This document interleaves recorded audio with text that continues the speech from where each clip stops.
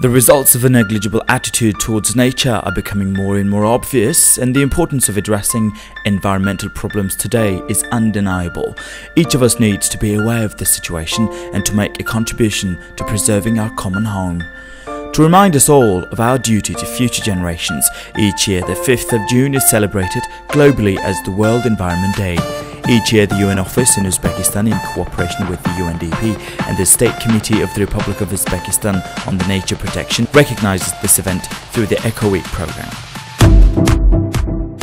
EcoWeek 2014's official opening featured welcome speeches by the chairperson of the State Committee of the Republic of Uzbekistan for Nature Protection, Bakhtiar Abdusamatov, the UN resident coordinator in Uzbekistan, Stefan Priesner, and Deputy Speaker and Chairman of the Committee on Ecology and Environment of the Legislative Chamber of the Oliy Majlis of Uzbekistan, Bori Alikhanov. The opening speakers highlighted the importance of the joint efforts of public authorities, scientists and experts in the ecology field, as well as the work of members of the public to ensure our country's environmental sustainability and to help mitigate climate change.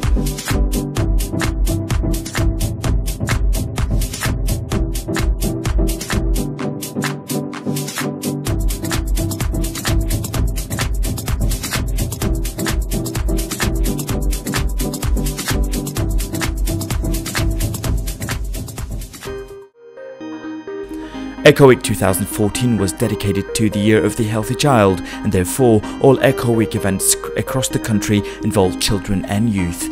Eco Week's first event in 2014 is the Youth Conference People, Society, Environment, held at the Academic Lyceum of the Tashkent Institute of Chemical Technologies.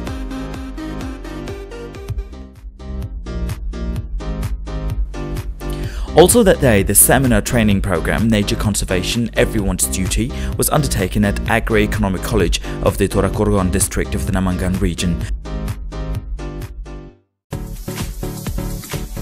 The GM Powertrain Uzbekistan joint venture company, which manufactures spare auto parts, is a prominent national example of how a successful company can take an environmentally friendly approach to its work. It was subsequently featured during the second day of Eco Week 2014 during a well-attended media tour. At its manufacturing premises located in the Zangiota district of the Tashkent region, the company has installed a range of technology designed to limit its impact on the environment.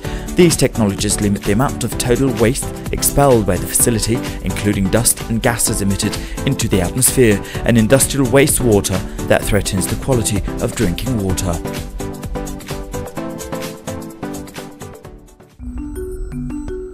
The second day of the Eco Week 2014 also saw the conducting of a scientific practical conference, Improvement of the Legal Framework of Environmental Protection in the Republic of Uzbekistan, held at the Ministry of Justice of the Republic. The conference was attended by representatives of government ministries, NGOs, academia and the mass media. It included the reading of reports regarding the problems faced in ensuring the environmental sustainability of agriculture and those regarding the establishment of means to monitor environmental pollution. Other topics addressed were the need for a code for tracking the use of groundwater and maintaining awareness of other important issues, a legal framework which is yet to be developed and improved on in the new future. Hundreds of legal documents have already been established in the lead up to the code's establishment. These include 20 laws regarding environmental safety, environmental protection and the appropriate use of natural resources.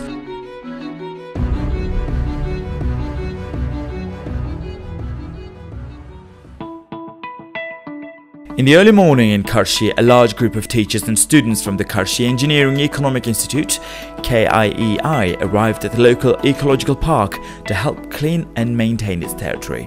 The park had been created by the Protecting the Environment and Ecology Department of the Institute and a resource and information center established by the UNDP Climate Risk Management Project.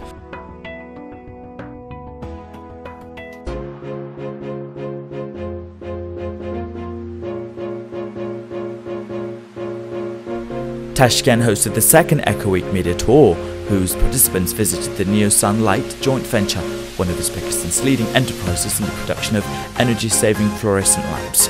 In workshop, the media tour participants learned about how the fluorescent lamps are manufactured by leading staff. These lamps are an environmentally friendly product, but there are problems faced in their use. Both fluorescent and compact fluorescent lamps help to save energy by up to 40% when compared to conventional lamps.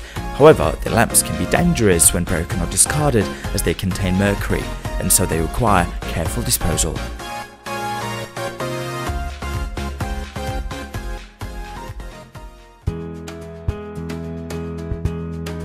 On the next day, participants at the conference The Impact of Climate Change on Water Resources and Arid Zone Ecosystems held at the Karshi Engineering Economic Institute travelled to Shahrisabz for a tour of historical sites.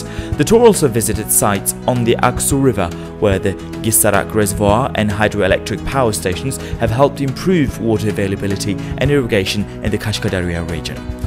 Also in Shahrisabz, school number 102 concluded a competition for young environmentalists on the theme Water Conservation in a Changing Climate. The participating students took part in a quiz and an exhibition on improved water conservation in the school's garden and greenhouse.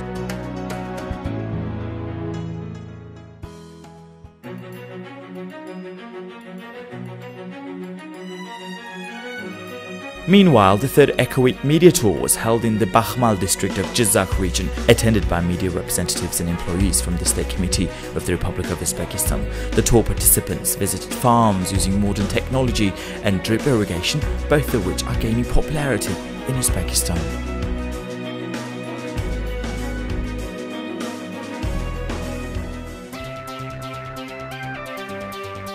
A traditional festival was held at Tashkent's Ghafur Ghulam Park with the attendance of students from the Barkamol Avlod Urban Center of Creativity.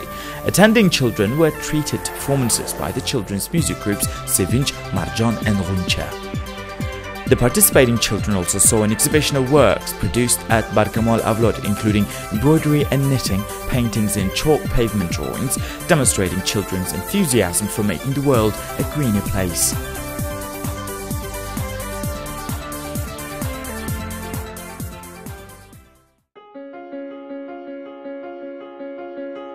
A celebration of school number 10 in the Samarkand region also allowed children to show both their creativity and their dedication to protecting the environment. The children painted ceramic tiles for the school's new wash stand.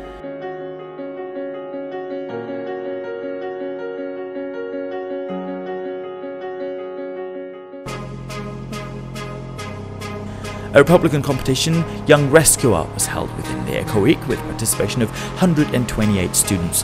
The winners of competition were awarded with prizes. In addition, the Tashkent radio station conducted a quiz on energy conservation, winners of which were also awarded with prizes.